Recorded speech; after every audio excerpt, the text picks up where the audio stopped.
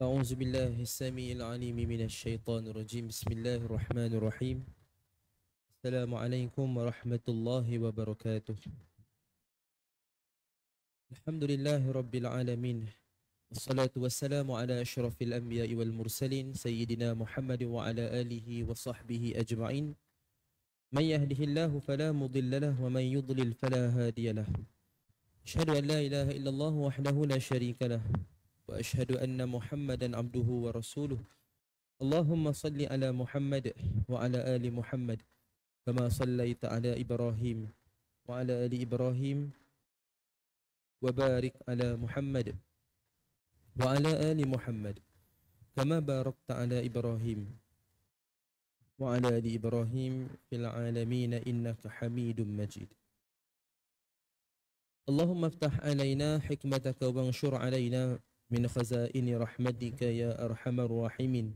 رب اشرح لنا صدورنا ويسر لنا أمورنا واحلل عقدة من ألسنتنا يفقه أقوالنا. اللهم فقهنا في الدين وعلمنا التأويل. اللهم ارزقنا فهم النبيين وحفظ المرسلين وإلهام الملائكة المقربين. يا فتاح يا عليم. افتح قلوبنا فتوح العارفين. سبحانك لا علم لنا إلا ما علمتنا إنك أنت العليم الحكيم لا حول ولا قوة إلا بالله يا الله يا رحمن الرحيم Berikanlah kepada kami kefahaman dalam menuntut ilmu pada malam ini ya Allah. Permudahkanlah segala urusan kami, terimalah segala amal ibadah kami. Rahmatilah kami dengan rahmatmu, jauhkanlah kami daripada kemurkaanmu. Ya Allah ya Rahman ya Rahim, berikanlah kepada kami kekuatan untuk beramal dan berpegang teguh dengan sunnah-sunnah Nabi kami Nabi Muhammad sallallahu alaihi wasallam. Rabbana atina min ladunka rahmah وهيئ لنا من أمرنا رشدا ربنا آتنا في الدنيا حسنة وفي الآخرة حسنة وقنا عذاب النار وصلى الله على سيدنا محمد النبي الأمي وعلى آله وصحبه وبارك وسلم والحمد لله رب العالمين Amin ya rabbal alamin. Al-Muhtaram yang saya hormati dan saya muliakan pihak pengurusan Masjid Kota Damansara Seterusnya barisan um, ahli lembaga tadbir, uh, barisan pegawai, tuan-tuan imam, tuan-tuan bilal, para tuk siap, para tuk guru, anim ulama, para asatizah, tuan-tuan, puan-puan muslimin, muslimat, hadirin, hadirat, ibu-ibu, ayah-ayah jemaah Masjid Kota Damansara yang dirahmati Allah sekalian. Alhamdulillah, pertama je dah buat selamanya marilah kita merafakkan, menzahirkan rasa kesyukuran kehadrat Allah Azza wa Jal. Dengan izin dan rahmatnya kita berada pada malam yang keenam bulan Jamadil Awal. Ataupun kita sebut dengan istilah yang sebenarnya Jumadal Ula.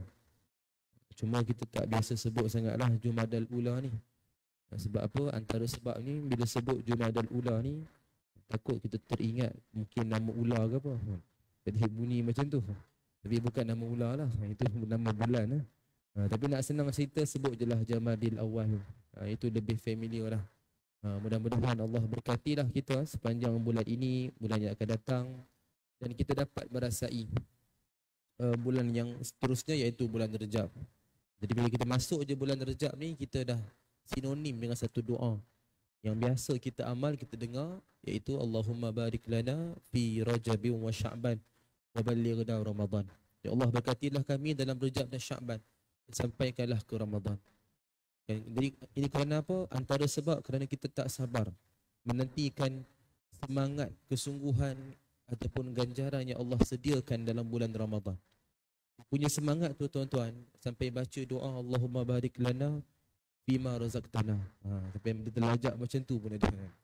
Jadi punya semangat tu sampai terlajak nak pergi makan. Ha.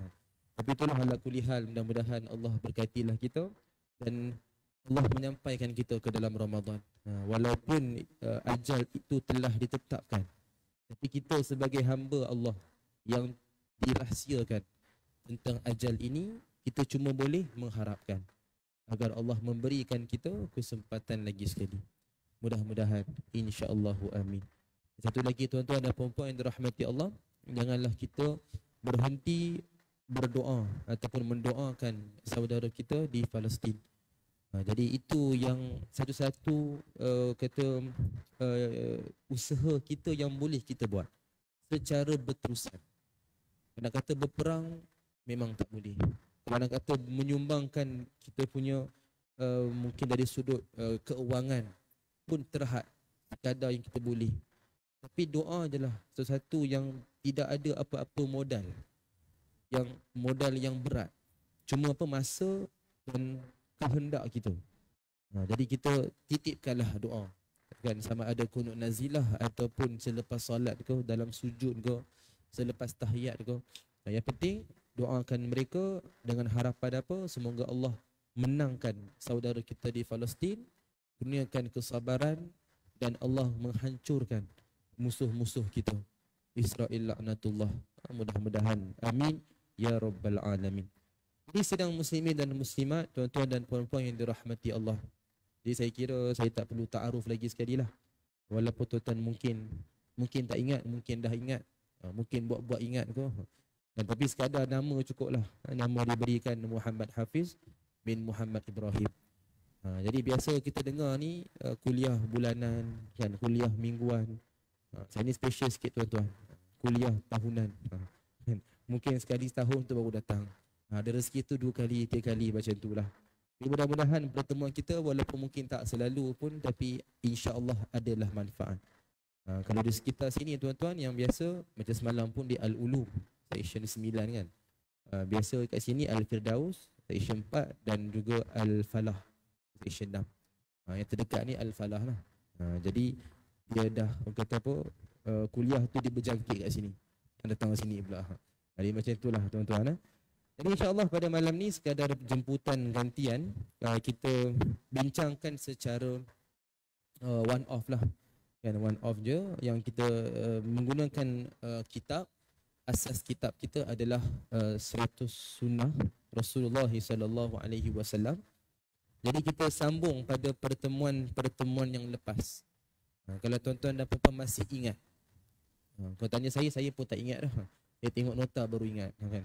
Sebab dah lama dah tu ha, kan? Jadi ikut pada nota ni kita sambung Pada malam ni kita lihat pada sunnah yang ke-17 eh, Pada sunnah yang ke-17 Qala al-muallifah rahimahallahu ta'ala Wa nafa'ana bi'ulumiha fi dara insya'allahu amin Pada sunnah yang ke-17 Dalam bab yang kelima tentang salat. Tajuk dia apa? Iaitu menghadap sutrah. Ha, Menghadap sutrah. Dalam sebuah hadis daripada Abu Sa'id Al-Khudri radhiyallahu anhu dia berkata bahawa Rasulullah sallallahu alaihi wasallam bersabda yang bermaksud jika salah seorang di antara kamu salat hendaklah dia menghadap sutrah yang menghalanginya daripada manusia. Jika ada seseorang yang ingin melintas maka halanglah dia. Jika dia tetap juga ingin melintas maka perangilah dia. Yakni halanglah secara keras kerana dia itu syaitan. Dalam riwayat lain dia itu bersama syaitan.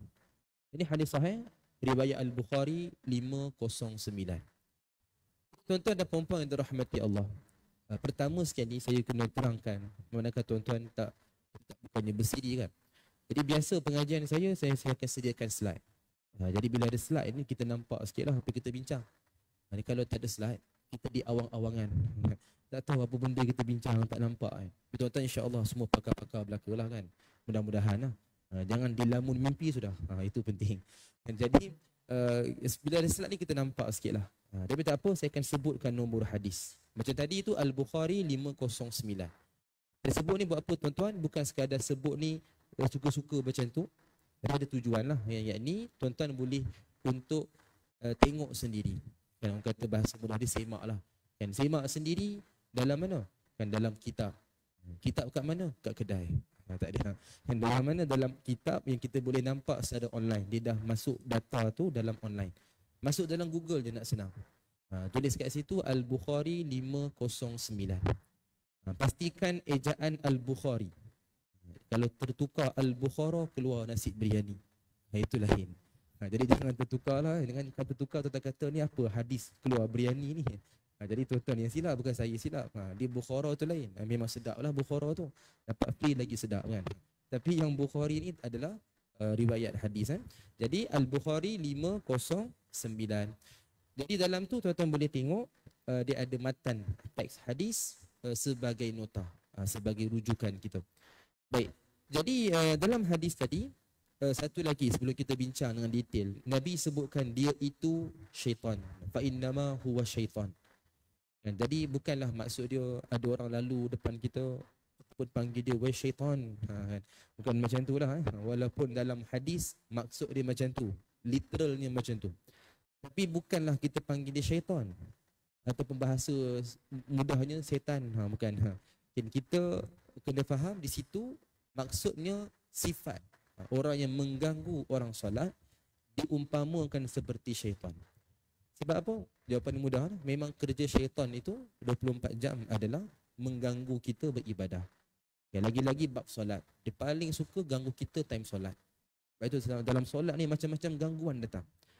Sampai datang satu petua kan. Kalau kita lupa apa-apa, tu pergi solat. Pergi solat kita dah boleh ingat. Letak kat mana barang. Apa yang kita lupa tu boleh ingat dia punya gangguan sampai tahap macam tu orang bagi petua macam tu tapi bukanlah petua tu betul lah kan ha, itu satu sindiran sebenarnya nak kata betapa tak khusyuknya kita ha, sampaikan solat tu baru dia fikir benda lain ha, macam itulah ha, jadi syaitan memang kerja 24 jam cita-cita dia ke hobi dia ke minat dia memanglah ganggu kita ha, tapi bukanlah kena ganggu tu tiba-tiba histeria ha, kalau kena histeria masing-masing setiap hari histeria lah jadi bukan macam tu dia cuma diganggu daripada sudut kita nak mendapat kelazatan beribadah. Kan kita mungkin solat tapi tak ada seseronok, tak ada kesan impak dalam kehidupan kita. Ini kita risau, kesan tu. Solat kita solat tapi kesan tu ada tak? Itu kita kena muhasabah. Kehidupan kita ni semua berbeza. Jadi kalau ada kesan, alhamdulillah. Terus kalau tak ada kesan, itu inna lillah. Jadi kita kena muhasabah lah. Kena buat satu perubahan. Maknanya biarlah solat itu dapat mencegah kemaksiatan. Kan as-salatu tanha anil fahsya'i wal munkar. Itu janji Allah. Jadi kita nak dapatkan benda tu mesti kena sungguh-sungguh. Baik, jadi berbalik kepada hadis tadi. Nabi SAW memerintahkan kita. Nabi suruh. Bila suruh, kata suruh, perintah, adakah dia wajib sahaja? Ha, tidak. Walaupun kita biasa anggap perintah adalah wajib. Tapi tak. Hukum dia wajib pun ada, sunat pun ada. Dua-dua ni perintah. Tapi kita biasa anggap wajib lah. Dan tapi kalau ikut secara ilmiah, hukum tu ada dua. Sebab perintah al-amru dia terbahagi kepada dua. Satu wajib, satu lagi sunat. Samalah dengan larangan. An-nahyu. Yang ni ada dua. Kita biasa anggap larang adalah haram. Kan? Tapi di situ adanya haram, adanya makruh. Ha, ni kalau dalam perbahasan agama lah. Ha, tapi kalau peraturan kat luar tu bila suruh tu memang kena buat lah. Ha. Bila dilarang memang tak boleh buat. Kalau ditulis dilarang merukuk, kita pun kata oh ni makruh je ni. Ha, tak boleh lah. Bukan macam tu. Itu no kompromi. Memang terus kena mandatory kan. Terus kena hukuman. Uh, tak bukanlah kena gantung tu. Maknanya hukuman terus. Jadi uh, di situ lain. Itu konteks daripada sudut uh, kata dunia ataupun peraturan uh, yang berlaku dalam dalam dalam dunia ni. Uh, tapi kalau sebut dalam perbahasan agama uh, dia bila sebut larangan ada dua hukum sebab itu kita kena dapatkan hukumnya dengan detail. Uh, dari sudut secara umum dalam Quran bila sebut perintah biasanya adalah wajib. Kan? Macam Allah suruh kita solat wa aqimus salah wa aqimus salah kan? Wa atu zakah zakat uh, kemudian haji uh, kemudian apa lagi? Kan? Allah suruh kita sesuatu ni kebanyakan kita boleh kata wajib. Ada beberapa sahaja yang boleh kira kalau ada yang Allah suruh tapi sunat uh, contoh dalam uh, surah uh, surah at-taubah uh, yang mana ayat dia berbunyi khuz min amwalihim sadaqah kan yang mana uh, dalam ayat tu tak silap uh surah at-taubah ayat 103 tak silap uh. dalam ayat tu yang mana Allah suruh untuk mendoakan Amil mendoakan kepada orang yang membayar zakat. Walaupun ayat itu adalah perintah kepada Nabi. Kan, kepada Nabi khusus. Jadi kita ni yang amil doakan kepada pembayar zakat, hukum dia sunat. Kan, maknanya tak tak doa pun tak apa. Tapi kita akan doa lah. Amil akan doakan. Jadi ini contoh yang tak banyak pun. Perintah Allah, tapi sampai pada kita jadi sunat. Tapi kebanyakan adalah wajib. Sama dalam larangan larangan Allah kebanyakan adalah haram. Kan? Yang paling mudah contoh al-khamr, wal maisir, judi, kan? Apa lagi? Al-maitah, bangkai, kemudian zina, riba. Ini semua terang lagi bersuluh, kan? Memang adalah haram. Jadi dia tak banyak yang yang jadi kira makruh. Dia tak banyak. Dia kalau ada pun sangat-sangat susah kita nak cari. Dalam hadis pula dia terbalik. Kebanyakan perintah yang Nabi suruh dia bukan kata wajib, sunat. Kebanyakan. Kebanyakan Nabi suruh ni eh, benda sunat. Seandainya Nabi sampaikan daripada wahyu yang Nabi terima, itu memang wajib lah daripada Quran. So Nabi terang, contoh solat. Kan solat daripada Quran, kewajipan dia, kaedah Nabi terangkan. So hukum bawa daripada Quran. Kan? Tapi kebanyakan yang Nabi suruh adalah sunat. Macam tadi pun sama. Sutrah pun sunat. Nanti kita bincang kemudian. Larangan Nabi dalam hadis kebanyakan adalah makruh. Kan? Contoh Nabi larang kita untuk makan tangan kiri. Dan Nabi larang kita untuk meniup air yang panas. Bila tengok hukumnya apa? Bila ulama terangkan secara terperinci. Bila tengok kesimpulan keterangan tu makruh. Ha, kan? Kebanyakan adalah makruh. So nak bezakan kat sini Quran, kalamullah, kalam Tuhan, maka dia lebih tegas berbanding as-sunnah ataupun hadis yang mana daripada Nabi, kalau hadis Nabawi ni, yang mana kursi itu tak banyak, Nabawi lebih banyak, maka dia dia ada perbezaan. Jadi kalau kalamullah itu lebih tegas berbanding ada dalam sunnah. Ha, itu secara kefahaman yang asas yang kita kena ingat yang mana bab perintah dengan larangan ni bukan hanya wajib dengan haram Ha, tapi perintah ada sunat, larangan adanya makruh. Baik, jadi berbalik kepada hadis tadi tuan-tuan. Ha, dia sebut berbalik-berbalik tapi tak cerita-cerita lagi apa. Jadi hadis tadi tu Nabi sebutkan tiga perintah. Tiga-tiga ni sunat. Yang pertama Nabi suruh kita bila solat pastikan menghadap sutrah. Jadi apa makna sutrah? Kita rujuk dalam kita rujuk dalam kitab Al-Fiqhul Manhaj. Sutrah pada lughahnya, pada bahasanya adalah sekatan. Satara. Yasturu sutrotan kan. Sutrah sekatan. Pada istilah dia apa? Tanda pemisah antara orang yang sedang salat dan orang yang hendak lalu di hadapan. Contoh sutrah. Ha, contoh ni ikut turutan. Yang paling afdal. Apa yang paling afdal? Dinding. Kemudian tiang. Macam dinding kita boleh kata yang depan ni lah. Walaupun ada kabinet almari kan. Ha. kan. Tapi dinding lah. Maknanya dia hadap sesuatu yang telah mati. Ha. Telah mati kan. Dia dah tutup dah.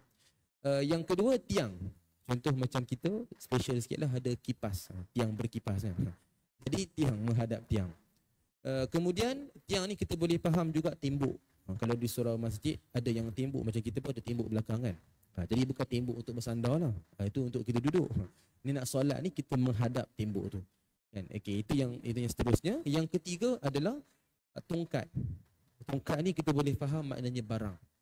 Ha, macam contoh tuan nampak saya bawa beg. Beg ni memang saya gendong. Ke mana pun saya gendong. Macam anak lah. Orang semua bawa anak ni saya bawa beg. Ha, yalah tak ada anak. Macam mana? Jadi bawa lah beg. Saya letakkan beg kat depan. Ha, contoh barang kan. Itu pun jadi sutra. Ha, kan? Kemudian sejadah. Ha, ada apa-apa kita pada kita letakkan sebagai sutrah. Ha, biasa mungkin ada ridak ke apa, so kita bentangkan dekat bawah. Kan? Ataupun ada sejadah bawa sejadah, sejadah muka, sejadah penuh letakkan, bentangkan sejadah. Itu dikira sebagai sutrah. Dan akhir sekali, tak ada apa-apa, letakkan tanda garisan. So ini daripada paling afdal sampai ke paling kurang. Jadi kita ada soft garisan ni ikut kepada susunan sutra. Maknanya itu paling terakhir. Sebab itu mana-mana surah masjid memang ada soft. Memang ada garisan. Garisan itu satu kalau solat berjemaah kita nak jadikan lurus kan kaki kita nak lurus sebab ada orang tinggi dia berbeza.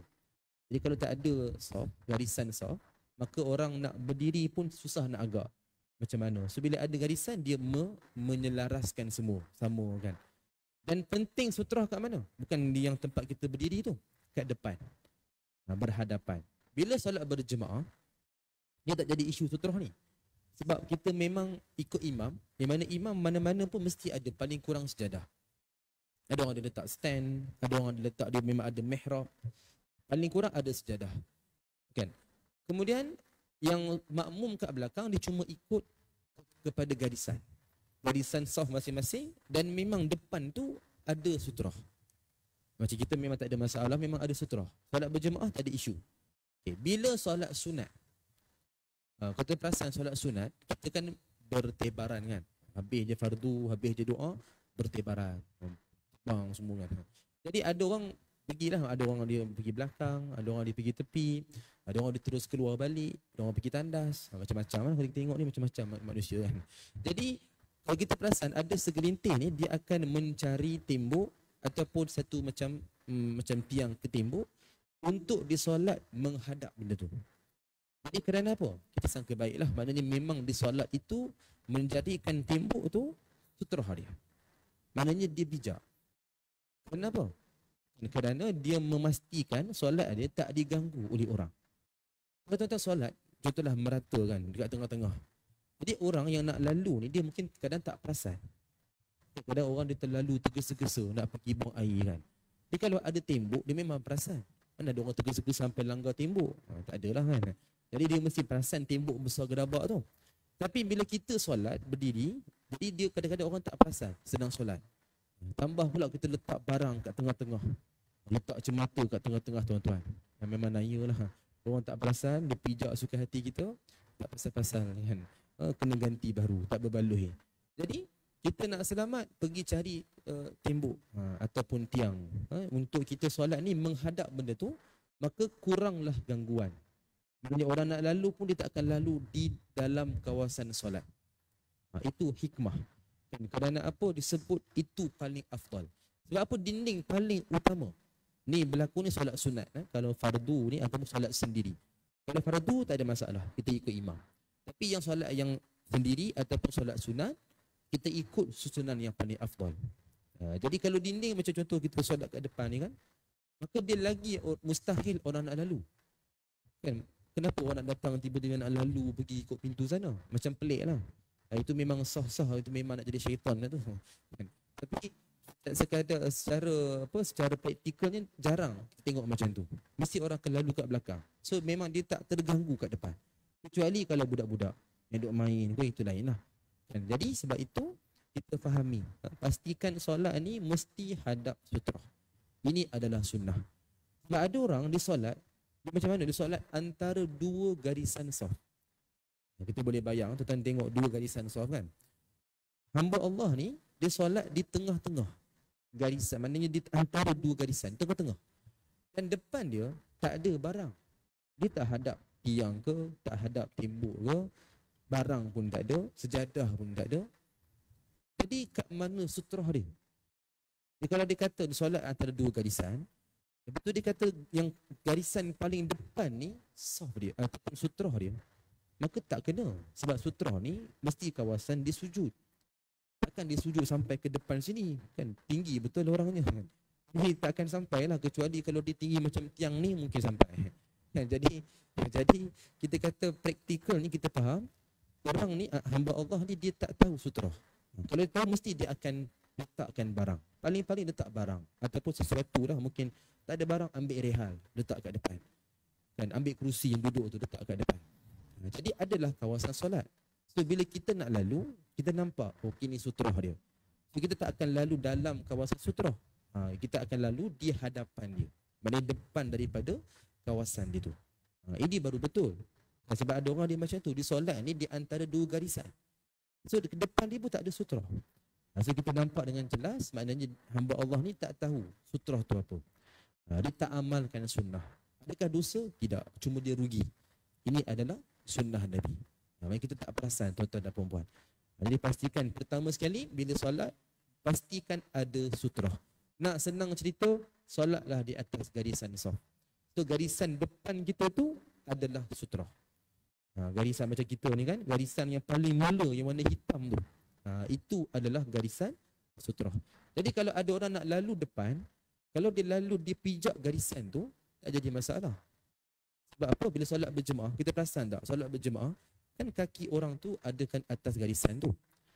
Ha, kalau dia mengganggu kita ataupun dikira masuk kawasan sutra, mesti kita dia kena solat depan lagi. Tapi tak, sebab garisan yang belakang tumit kaki tu, itu sutra kita. Jadi kalau orang pijak kat depan, maknanya dalam garisan tu, dia tak kira mengganggu kita. Ha, jadi kita, dia solat, katalah masbuk ataupun solat sunat. So ada hamba Allah, dia pijak garisan. Dia pijak garisan dan dia tak ganggu dalam solat. Eh. Dia pergi tepi kan. Jangan kita rasa terganggu.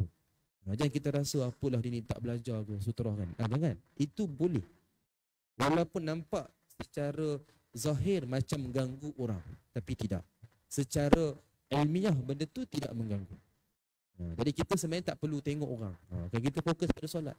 Ini tak macam solat tu dia tengok tengok orang gerak-gerak kepala. Orang lalu sutra tu jeling macam tu kan. Jadi kita pun hairan di solat ni sebenarnya sebenarnya dia fokus apa. Sebab ada orang macam tu tuan-tuan. Kalau saya pernah perhati juga ada orang macam tu kan. Saya saja gerak-gerak, dia pandang saja. Kita pun tak tahu dia solat tu macam mana kan. Sangka baik je lah. Tapi saya tak pandang dia dah. Saya terus keluar je lah. Kan sebab lain, lain, nampak lain macam je. Takut dia kejar kita belakang. Jadi kita berhari kita siap kan. Jadi tuan-tuan biar kita pastikan solat adalah sutra. Itu yang pertama. Yang kedua, sekiranya orang lalu di depan kita. Depan ni maknanya dalam kawasan sutra. Ini biasa terjadi kepada makmum yang masbuk. Sebab apa tuan-tuan? Sebab saya feel. Ha, saya rasa benda tu. Bila kita masbuk, kadang kita pergi jauh, kan kuliah jauh-jauh. So bila dalam time hujan, kita dia lah mat motor. Kan, pergi basah, balik pun basah. Ha. Pergi basah hujan, balik basah peluh. Kan. Jadi memang kita feel lah benda tu. Bila kita masbuk kat belakang, adalah, tak semua tapi adalah. Bila makmum yang nak dia nak keluar, dia nak keluar, maknanya dah habis salat, dia nak keluar. Ha, mana, waktu tu imam sedang berwirid. Maknanya dia tak habis lagi doa lah. Jadi makmum ni buat apa? Dia nak senang. Dia pusing di belakang. Dia cross. Jadi kita solat ni belakang dia. So dia pusing. Okay, tak ada masalah lagi kan. Tapi dia me, dia mengcross. Ha, mengcross kan bahasa baru. Dia apa? Dia melintas. Ha. Melintas dalam kawasan solat. Dia sepatutnya pergilah tepi. Kalau tepi tak apa lah kan. Tapi ni dia melintas macam ni. Dia tengah solat kat sini kan. Dia lintas. Ha, jadi melintas ni dia tak ada zebra crossing. Tak boleh lintas macam tu. tak boleh lintah macam tu sebab dia mengganggu orang yang sedang solat. Ha, jadi ini kita kena buat sesuatu dan kita berdiam. Kita kena defend. Ha. Kalau dia tepi, tak ada masalah. Itu kita abaikan saja. Tak ada apa-apa, dia tak kira ganggu. Walaupun nampak macam nak ganggu. Tapi dia buat suspend. Dia pergi tepi. Ha, tak apa. Tapi kalau dia pusing, dia memang lintas dalam kawasan sutra kita, kita kena buat sesuatu. Ha, kita nak buat apa? dalam hadis sebut apa nabi uh, apa nabi suruh kita menghalang ha tapi tak, tak disebut dengan, huraikan apa bila ulama terangkan apa maksud halang kita disuruh dituntut sunnah kita melentangkan tangan untuk menghalang orang ha selentangkan maknanya apa? Pilihlah satu tangan. Ha kita lentangkan macam inilah sama ada kanan ataupun kiri. Ikut kesesuaian. Kalau hamba Allah tu datang daripada belah kanan Masuk kanan lah sesuai. Mana kita stop siap-siap. Ha, Kalau buat kiri Apa guna dah. Orang dah masuk dah Kita baru nak halang. Ha, Tak kena. Kalau dia datang daripada belah kiri Kita buat kiri. Ha, Dan kalau datang daripada belakang Itu nak jadi makmum kita. Ha, Itu lain Kalau datang daripada depan Pandai-pandai kita lah Sebab dua-dua sama kan? Jadi yang penting Jangan bergerak dua sekali Ini kita risau pada pergerakan Ha, bila gerak dua memang dia tak ada tak kira batalkan solat. Cuma takut kita gerak dua-dua sekali, takut bertambah pergerakan. Kan macam ni tiba-tiba Ultraman 3 ha, mana tahu kan. Nak selamat tak payahlah gerak satu cukup sekali sama ada kanan ataupun kiri. Ha, jadi itu yang sesuai dan itu adalah sunnah. Ha, dan selamatnya kita melentangkan tangan buat begini lebih selamat. Macam ni. Kalau tuan-tuan buat macam ni, Ha. Orang tengok macam nak salam, dia pun salam. Assalamualaikum, apa khabar? Lama tak jumpa. Dia pun jawab, Waalaikumsalam, dia pun datang ke rumah. Jadi nak selamat, macam ni je. Itu lebih selamat lah. Kalau macam ni takut orang nak salam. Ha, kadang-kadang kita tak fikir, kita spontan kan. Bila kita buat macam ni, orang nampak macam salam, dia akan salam. Dan so, bila dia salam, dia pun terkejut tengah solat. Ha, kan? Jadi tak nak jadi macam tu. Jadi macam kacau lah kat situ. Ha, so nak selamat, lentangkan macam ni. Ha, lentangkan macam ni, mana sama ada kanan ataupun kiri. So biasanya, kita buat macam ni, selesai masalah. Maknanya orang dah sedar. Biasa orang nak lalu ni bukan dia sengaja, dia tak perasan. Dia nak cepat sangat, so dia nak cepat-cepat keluar. Jadi dia tak perasan. Jadi bila kita lentangkan tangan, so dia akan sedar. Dan sama ada dia macam terkejut sikit, ha, ataupun dia mengelak macam tu. So biasanya tak ada masalah. Tapi katalah kita lentangkan tangan, dia tak faham. Kita lentang macam ni, ah, bukan kita lentang macam ni dah. Dia tak faham apa kita buat. Dia pun duk pegang-pegang duk urut-urut tu kan. Dia pun duk angkat kat tangan kita tu. So kita nak buat apa? Dia masih nak lalu juga. Tapi ni jarang berlaku lah. Ha? Kalau kata berlaku, so dia lalu juga. Maka di situ kita buat sunnah yang seterusnya. Iaitu memerangi. Bukan perang suruh angkat senjata tu. Ha. Perang ni maknanya kita halang secara keras. Maknanya apa? Boleh tolak dengan tolakkan yang ringan. Ha, tolak tu ringan je tuan-tuan. Jangan sungguh-sungguh tolak dua tangan macam tu. Langgar sana, langgar sini kan. Macam main pinball kan. Ha, bukan. Itu dah melampau ekstrim sangat tu. Jadi kita sekadar tolak tu ringan je lah. Ha, maknanya kita bagi isyarat yang lebih keras. Tadi tu kita lentangkan tangan je. Jangan jangan cross. Dia masuk juga. Contoh budak-budak lah biasanya kan. So budak-budak biasa main-main. Kita lentang pun dia tak faham. Kan? Kita lentang pun dia tak faham. Mungkin tak sampai. Kita tinggi, dia rendah. Lentang macam ni mana nak sampai. Dia memang dia main kat bawah tu. Ha, so kita buat apa? Bila dia main lagi, maknanya dia lalu dalam kawasan solat, so kita pun tolak dia. Tapi ringan je lah. Tolak ringan. Tolak tepi sikit kan. Ataupun kita mungkin tarik. Ha, pandai-pandai kita lah. Tapi janganlah over sangat sampai tarik duduk tak tepi semua jangan eh. Ha, kita just tolak macam tu ataupun kita tarik dia macam tu. Dalam keadaan solat. Tapi gerakan tu kena batas. Kena terbatas. Ha, jadi biasa buat macam tu, insya-Allah ada kesan. Sama ada uh, budak-budak tu dia kurang bermain ataupun dia akan bermain di tempat lain. Ha, dia ada kesan. Ha, biasa kalau sebut tadi tu kita lentangkan tangan orang dah faham kan. Yang satu lagi ni bila orang masuk juga ataupun budak-budak adik main, so kita buat isyarat macam tu, keras. So kita tolak dia sikit ke, tarik dia sikit, maka insya-Allah kat situ dia memberikan kesan. Paling-paling kurang dia akan kurang bermain. Ataupun dia akan mengelak pergi tempat lain. Sebab kita dah bagi satu macam warning, satu isyarat tepi kan kita tarik dia. Macam dia dah dia akan terkejut sikit lah. So kat situ insyaAllah ha, dia akan mengelak daripada kita ketika kita nak solat. Ha, jadi ini tuan-tuan antara sunnah yang boleh kita kita amalkan jadi tuan-tuan itu tentang sutrah ha, sunnah yang ke 17 ha, ini pun nak masa nak habis dah ha, punya panjang eh. masuk sikit lagi tuan-tuan satu lagi lah ha, sebagai penutup untuk malam ni ha, berkenaan tentang uh, doa masuk keluar masjid Baik, saya kira kita dah biasa dengar lah. Saya cuma nak ringkas saja. Doa keluar, masuk keluar masjid ni dalam hadis Abu Daud 465. Hadis yang sahih yang mana doa ni kita biasa dengar lah. Allahumma ftahli abwaba rahmatik. Masuk kan. Bila nak keluar Allahumma inni as'aluka min fadli. Baik, ini saya kira tak ada nak bincang panjang. Kita dah tahu, insya-Allah kita amalkan. Cuma beberapa persoalan. Jadi pertama sekali doa ni dia dia tidak berhajat pun kepada Quran dengan hadis. Maknanya bebas. Dan apa kita nak minta, minta. Termasuk nak masuk masjid, nak keluar masjid, kan? Maknanya bebas. Nak baca bismillah sahaja pun tak apa. Nak keluar tu alhamdulillah, boleh. Tak ada masalah. Jadi sudut yang lain, bila ada doa yang Nabi amal, Nabi ajarkan, kita ambil yang tu sebagai satu pedoman. Kita utamakan. Macam tadi doa tu saya yakin dah ramai dah amal. Okey, itu yang pertama lah. Yang kedua, doa tadi tu kita nak amalkan di mana? Macam yang mana ketepatan masuk keluar masjid ni. Yang mana ikut pada ketepatan, kalau ikut nak amal tu kat mana-mana pun boleh. Atau nak amal daripada rumah pun boleh kan. Tapi yang mana tepat masuk dan keluar masjid. Masuk ni bila maksud dia apa? Bila kita baca doa, habis je doa, kaki kita langkah ke dalam masjid sama dengan keluar. Baca doa keluar masjid, habis je doa ni, kita aminkan doa tu, maka langkah kaki kiri itu di luar masjid. Ha, persoalan dia kat manakah kiraan ataupun maksud kepada masjid. Kalau kita lihat tuan-tuan, ni dia punya perbincangan memang panjang sikit. Cuma kita nak terus ringkas kepada poin dia. Ringkasan dia apa? Masjid dari kalimah sajadah. Kan bermaksud sujud. Maknanya apa? Tempat kita sujud. Tempat kita solat. Jadi lima waktu yang biasa, yang fardu, fardu kifayah yang kena datang di masjid kita ni, kita buat di mana?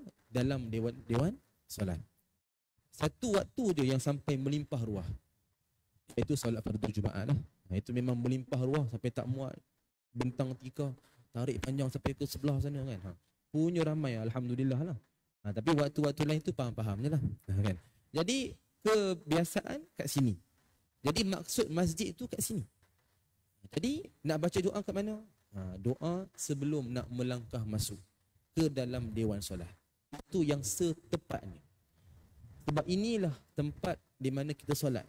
Dia ada imam kat sini kan, dewan solat. Dia ni berlaku setiap waktu. Kecuali Jumaat je. Jumaat sampai keluar. Dia dah tarik siap-siap. Maknanya Jumaat itu akan bersambung sampai keluar. Hari Jumaat, waktu Jumaat sahaja, bagi orang datang lambat, di mana dia pijak tempat yang mana dia sampai itu, dibacakan doa. Sebab bagi dia, masjid itu telah tarik sampai luar. Dewan solat ni dah sampai, dia bersama-sama sampai ke belakang. Tapi waktu yang lain, inilah tempat dia. Ini paling tepat. Ikut kepada maksud masjid. Sama dengan keluar. Ha, maknanya tuan-tuan baca macam mana? Sebelum nak melangkah masuk, baca doa tadi. Lepas habis je doa, langkah kaki kanan dalam masjid. Sama lah keluar. Nak keluar nanti ni, masa dekat pintu, baca doa. Habis je doa, kita aminkan, langkah kiri kat luar. Ha, itu yang sebenarnya mengikut ketepatan. Kalau kita tanya kalau salah ke Ustaz nak baca kat luar, salah ke Ustaz nak baca kat, kat rumah, ha, tak salah lah. Tak baca pun tak salah. Ha, yang salahnya, bila orang buat masalah. Ha, itu salah. Jadi sebenarnya tak ada masalah. Bebaslah nak baca tak baca terpulang tapi kita nak amalkan sunnah ni. Jadi kita ambil yang yang tepat tuan-tuan. Dan terakhir sekali tentang soalan. Ha, itu satu persoalan kita. Adakah perlu ataupun kita kata uh, sunnah untuk kita menadah tangan ketika nak baca doa. Baik. Jadi kira ni bukanlah isu yang besar tuan-tuan. Cuma saya sebut ni biar kita faham sikit. Di mana kita kena ingat berdoa dengan cara tak menadah tangan bukanlah dikira tak beradab. Dalil dia apa? Kita boleh sebut dengan ringkas contoh time sujud orang takkan tadah tangan. Time tayat akhir tak tadah tangan. Time uh, khatib baca khutbah, doa pun dia tak tadah tangan. Bagi khutbah lah, bagi khatib. Jadi ini cukuplah tiga keadaan ni menunjukkan tidak menadah tangan bukanlah tak beradab. Bukanlah kata kata oh, tak beradab lah, tak tanda tangan. Jangan sebut macam tu. Sebab ada keadaan memang tak tak, perlu tanda tangan. Maknanya benda tu boleh dibuat. Tapi dari sudut kehormatan, dari sudut kita lebih kata menjaga adab, tanda tangan itu lebih menunjukkan kehambaan. Ha, dari sudut yang kita boleh bincang daripada kitab Al-Minhaj dengan Imam An-Nawawi rahimahullah antara adab berdoa menadah tangan. So, itu lebih menunjukkan kita ni rasa hamba. Jadi persoalan tadi tuan-tuan eh, dia tadah tangan tak ada masalah. Tapi kalau contoh kita nampak orang tak tadah tangan. Baca doa, dia melafaz, dia masuk. Sama dan keluar. Kan? Jadi jangan kita salah sangka. Ha, itu yang paling penting.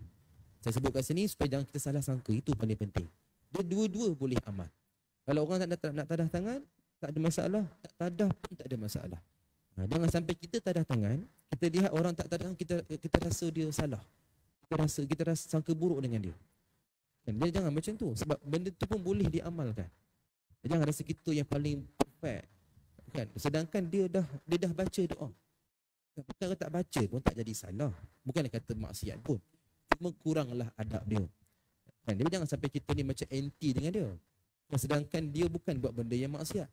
Kalau terang-terang maksiat, itu kita kena cegah. Tapi benda yang meninggalkan sunnah, kita cubalah nasihat dengan baik-baik. Ha, kan? Jangan sampai kita ni anti dia tuan-tuan. Ha, macam tu dah. Dah bunyi tuan-tuan. Saya kira cukup sampai itu dulu. Walaupun dah tiba-tiba kena stop kan. Dia sampai azan isyak je kan. Kita kena sambung je tuan-tuan. InsyaAllah uh, mungkin bulan depan. Mungkin tahun depan. Yang penting kita dapat manfaat lah daripada pertemuan kita. dan kita dapat bertemu lagi pada masa akan datang. Uh, jumpa tentang mula kita dapat sesuatu dan dapat kita sambung uh, pada pertemuan akan datang insya-Allah. Kalau tak bertemu lagi tuan-tuan, uh, kenanglah ku dalam doamu insya-Allah. Wallahu taala a'lam wa ilmuhu wa atam. Auzubillahi samil alim minasyaitonir rajim. Bismillahirrahmanirrahim. Alhamdulillahi alamin. Asyrafil anbiya'i wal mursalin sayyidina Muhammad wa ala alihi wa sahbihi ajma'in. Allahumma inna nastawdi'uka ma 'allamtana فردده إلينا عند حاجتنا إليه. ولا تنسينه يا الله يا رب العالمين. اللهم انصر إخواننا المسلمين والمجاهدين والمستضعفين في فلسطين. ربنا آتنا في الدنيا حسنة وفي الآخرة حسنة. وقنا عذاب النار. وصلى الله على سيدنا محمد النبي الأمي. وعلى آله وصحبه وبارك وسلم. والحمد لله رب العالمين. أقول قولي هذا ونستغفر الله العظيم لي ولكم. سبحان الله وبحمدك. لا إله إلا أنت. أستغفرك وأتوب إليك. بسم الله الرحمن الرحيم. والعصر. إن الإنسان لفي خسر. إلا الذين آمنوا وعملوا الصالحات وتواصوا بالحق وتواصوا بالصبر. والسلام عليكم ورحمة الله وبركاته.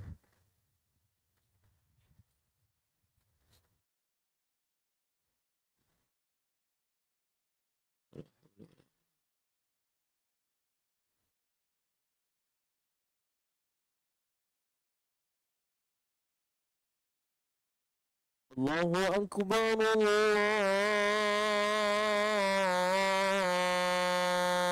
الله أكبر.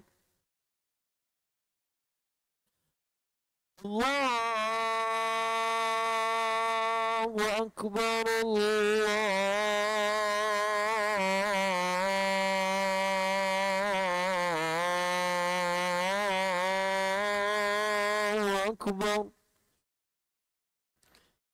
أشهد أن لا إله إلا الله.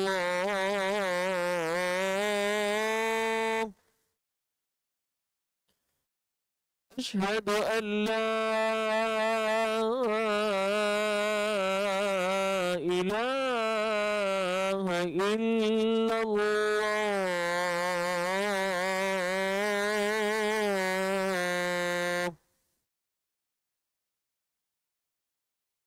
أشهد أن محمد رسول الله.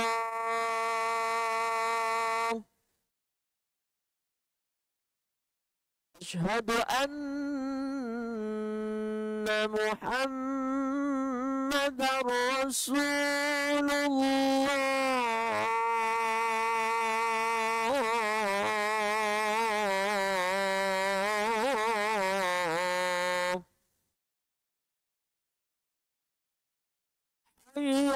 الصلاة.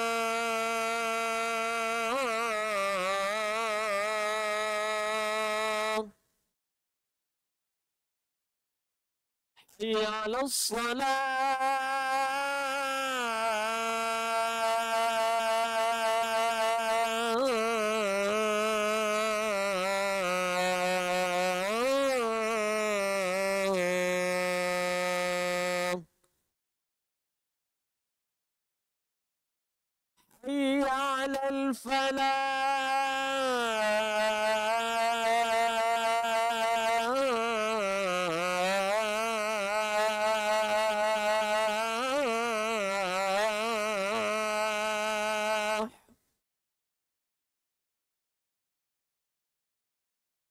حي على الفلاح.